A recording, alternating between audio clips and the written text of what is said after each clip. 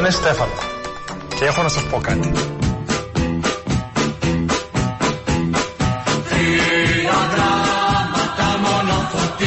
Επιχειρηματίας είμαι. Με θύτεψε ο Αλέξης Τσίπρας.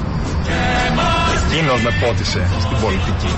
Ο Παύλος ο Πολάκης και το Μέας Διαφάνειας με έφεραν στο κόμμα. Επιχειρηματίας είμαι. Άμα δεν είχα δουλέψει μέσα στο κεφάλαιο, σήμερα δεν θα ήμουν αριστερός. Οι περισσότεροι που συναντάω μου λέτε άντε να βγεις, θα σε ψηφίσουμε να πέσει ο Μητσοτάκης. Επιχειρηματίας είμαι. Δεν θα πολιτευόμουν αν δεν υπήρχε ο Αλέξης. Όλο το σύστημα είναι εναντίον μου. Επιχειρηματίας είμαι.